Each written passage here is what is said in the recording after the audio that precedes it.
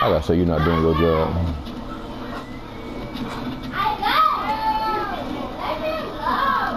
Boy, that nigga shooting them bitches from down there.